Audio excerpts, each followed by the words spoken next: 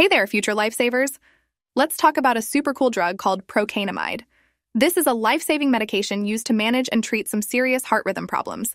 Think ventricular and supraventricular arrhythmias, atrial flutter or fibrillation, and something called Wolff Parkinson White syndrome. Basically, it's a go to drug when someone's heart rhythm is dancing off beat and we need to get it back on track. So, how does procainamide do its thing? Picture it like a security guard for your heart's fast sodium channels. It latches onto these channels, preventing them from bouncing back after repolarization. In doing so, it turns down the volume on the heart's excitability and puts the brakes on conduction velocity.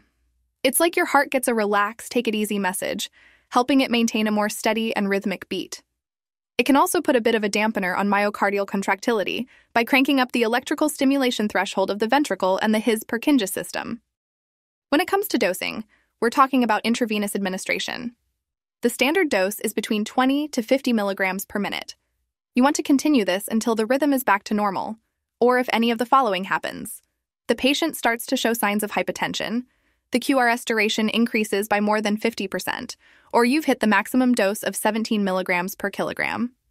After that, you switch to a maintenance dose of 1 to 4 milligrams per minute. But be careful here. If the patient has prolonged QT or congestive heart failure, it's a no go. Now let's talk pharmacology.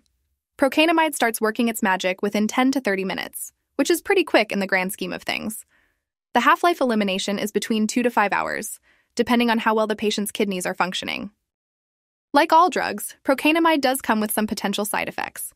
These can include cardiac toxicity or dysrhythmias, QRS, QTC, and PR prolongation, ectopic beats or premature ventricular contractions, bradycardia, hypotension, and even bone marrow toxicity that can lead to a decrease in all types of blood cells or agranulocytosis. Not fun. It can also cause a drug induced lupus erythematosus like syndrome, but this is usually in folks who've been taking the drug for a long time. There are also certain situations where procainamide is a definite no no.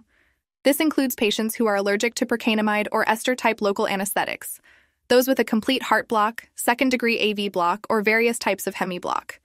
You also want to use it with caution in patients with heart failure, electrolyte imbalances, especially low potassium and magnesium, myasthenia gravis patients, and if the patient has liver or kidney problems. So there you have it, folks, the down low on procainamide. Keep in mind every patient is unique, so always tweak your treatment to fit the individual. We hope this video has helped shed some light on this medication. If you're hungry for more knowledge, don't stress. We've got a whole series on cardiac arrest medications waiting for you to dive into.